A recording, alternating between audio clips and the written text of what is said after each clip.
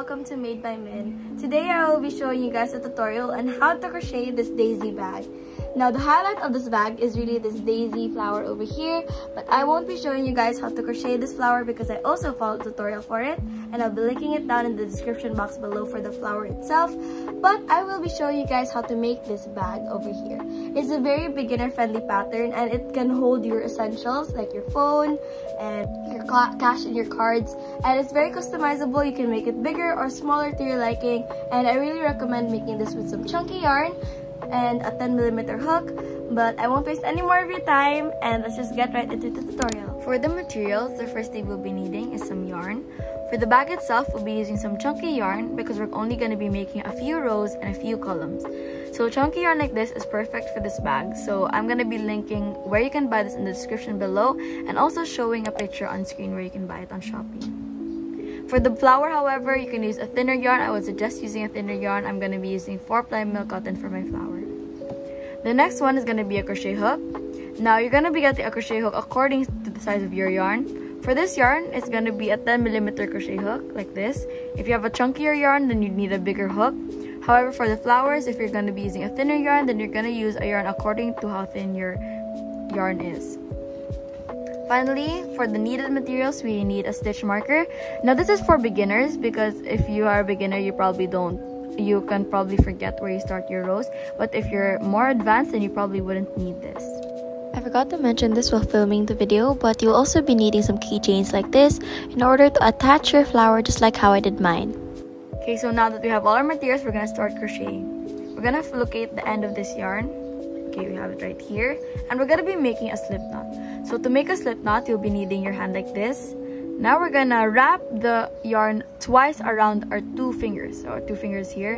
And our thumb is gonna be continuously holding the end right here.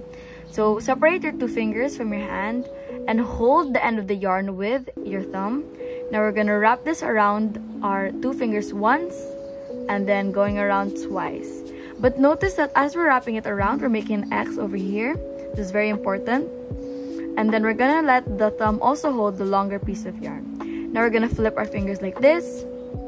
Take one finger, put it underneath the first loop, grabbing the second loop through the first loop. So underneath, pull it through like this. And now we have something like this. Make sure you don't let this circle of yarn, don't let it go. So hold it like this. Now we're gonna pull the loop that we pulled through a while ago. Pull it while holding this um, shape right here. Pull it through. And now we have this. Now this is what we call a slip knot.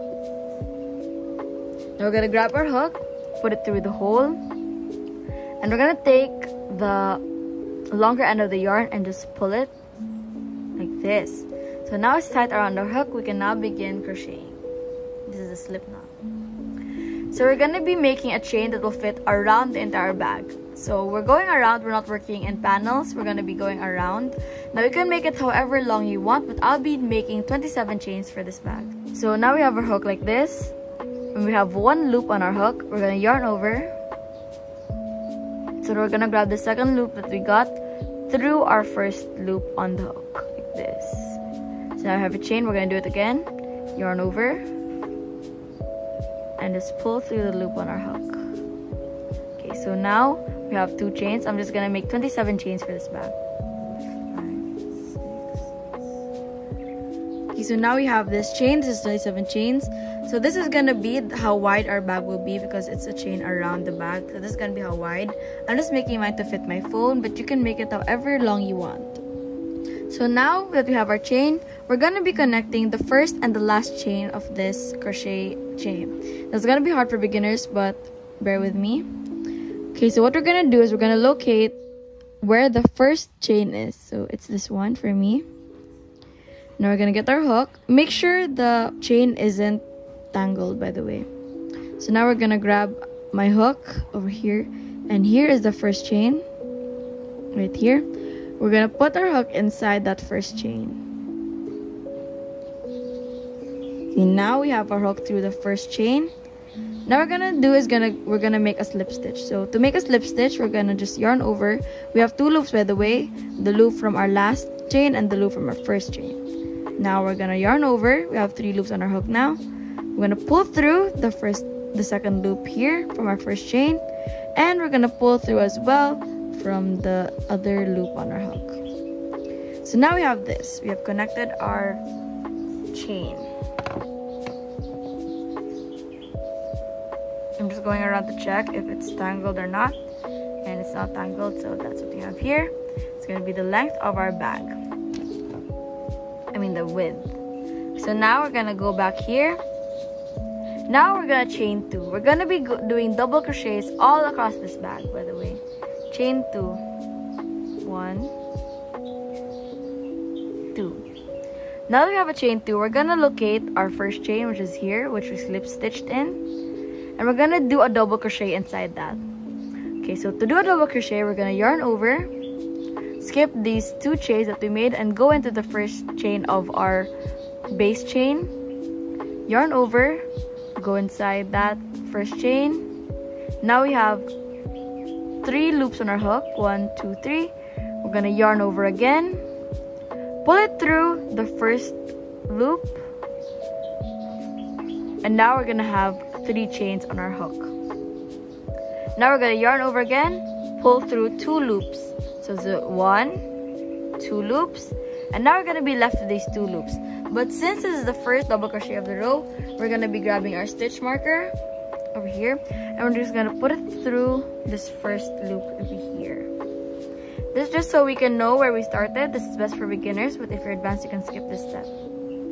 So now we have these two loops. I'm just gonna yarn over, finishing off our first double crochet. So now we have our first double crochet. We're just gonna be working in double crochets all across the entire band or the base chain. I'm just gonna be pulling some yarn here. Okay, so we're gonna do it again. Yarn over, locate the next chain, which is here. Put it through. And now we have three loops. I'm gonna yarn over again pull through one loop.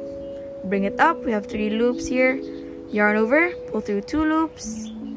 We have two loops left. Yarn over. Pull through the last two loops. Now we're just going to be doing that for the rest of the bag or the base chain. If you need to take it slow you can just rewind but i'm just going to be continuing mine. Now if you're a beginner please count how many you're doing how many double crochets you're doing. And remember how many base chains you made? That's how many double crochets you'll make and stop at the last one. So i have one two three. I've made three double crochets so far. I'm gonna stop at my 27th double crochet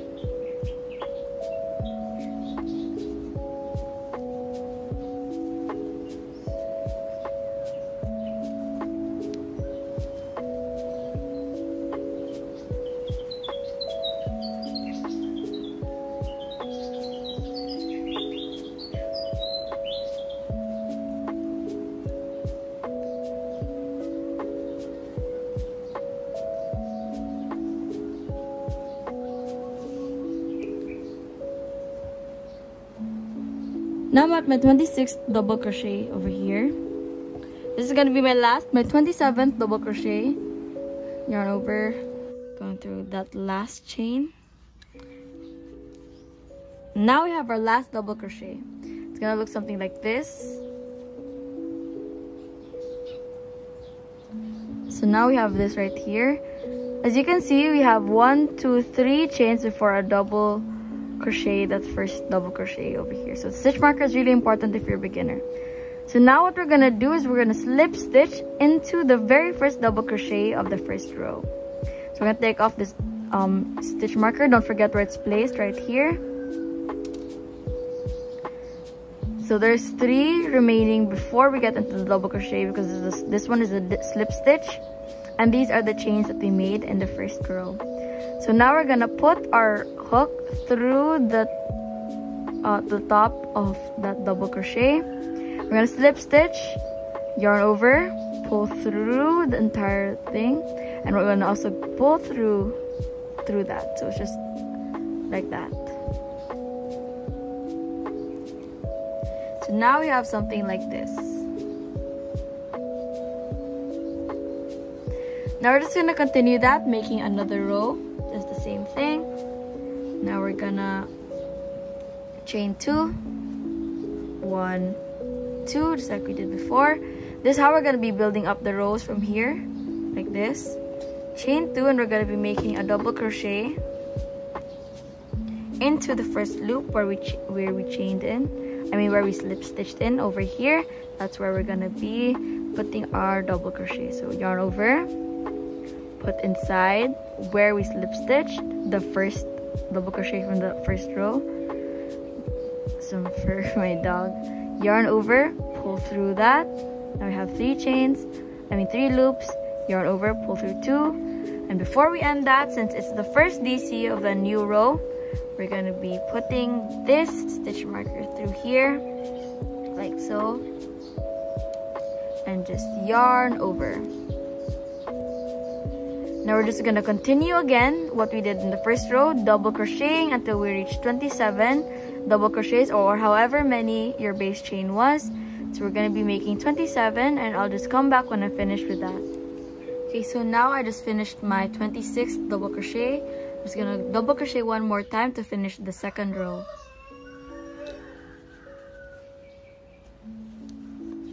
So now we finished 27 double crochets and now we're going to be doing the same thing as we did in the first row. We're going to take off the stitch marker remembering where it is. I'm gonna hold that here. And now we're gonna slip stitch the first double crochet with our last double crochet. So going going inside that. I'm gonna yarn over, pull through. I'm just gonna pull through as well. We have this. Now it's getting its shape. We're just gonna continue making however many rows you want, but I'm only gonna be making four rows. Doing the same thing just chain two. Make one double crochet into the first one. Always for beginners the stitch stitch marker in the first one like this gonna come back when I'm done with this row again now I'm making the very last double crochet for this row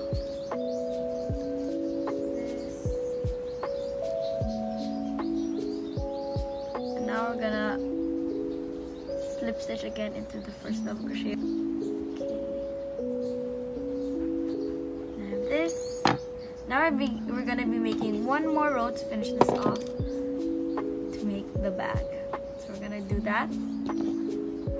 Chain two.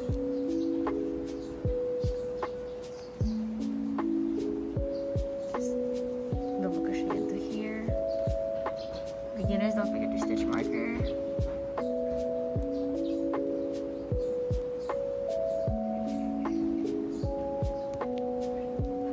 off now we're gonna just DC all across. Okay, so I just finished the last double crochet for that row, the 27th. Just gonna slip stitch into the first double crochet. Stitch.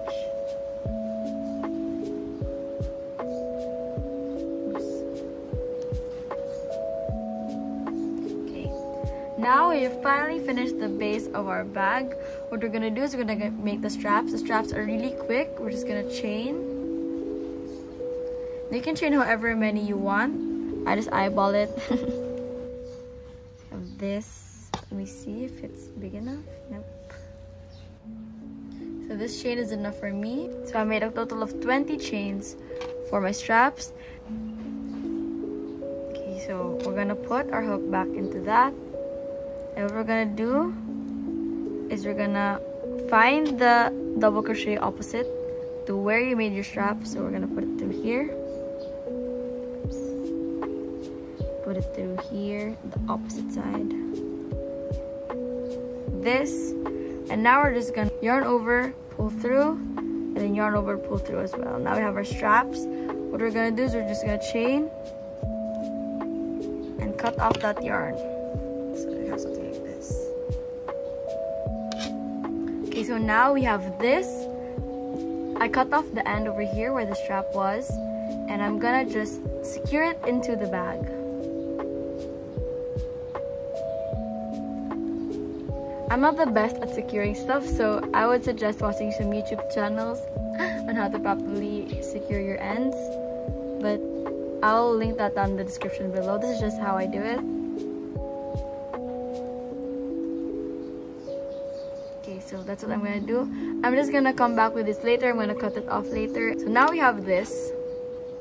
It's so cute already have this bottom part over here. What I'm gonna do is I'm just gonna connect these two bottoms. That's the last thing we're gonna do. We're gonna connect these two bottoms.